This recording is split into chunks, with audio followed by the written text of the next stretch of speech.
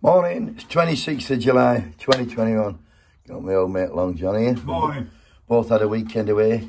Uh, we both come back naked. What about that? Anyway, there's been loads going off over the weekend, John. But Ah. the one thing what's hit me in face, apart from a few punches, is Warburton's. Warburton's bread. Jonathan Warburton, he's been on, well, he's wrote a, an article in a paper morning at Brexit. Because of Brexit, they've got no, there's a shortage of drivers, they've all gone back to EU. But let me tell you this, Johnny.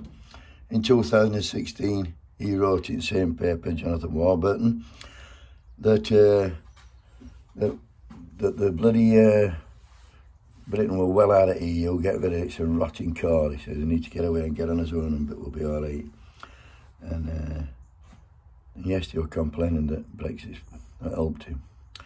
Also about Warburton's, I used to like their bread meat. I don't like it.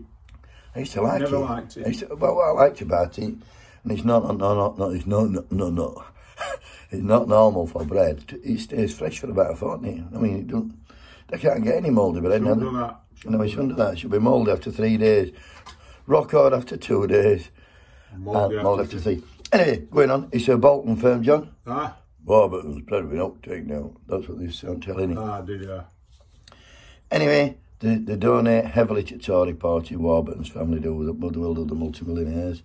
And I know what, the ditch British wheat a couple of years ago and they started buying American wheat Ah, for the bread. In that bread they've had palm oil and there's no how many calories per slice that bread is. I don't have a guess. 103. No, 98 miles away. Good guess that, John. It's pro fox hunting, pro Brexit, and the people who work there, some people say it's good firm, a lot of them say it's a bad firm, 12 hour shifts, uh, management to a bullies and all that shit. And anyway, what I'm going to do for them, John, now, because they're struggling to deliver bread to supermarkets,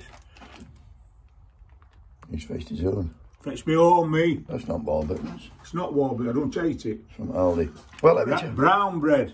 Brown, bread. let me tell you this, John, because they're struggling, I'm never, ever going to buy another fucking item of Warburton's, whatever he What about pikelets? No, I will, I'll not buy it. That's it. Warburton's is out. And that way, it's one less loaf and one less pack of pikelets to get to the fucking shop. So, shove it up your ass, Warburton's.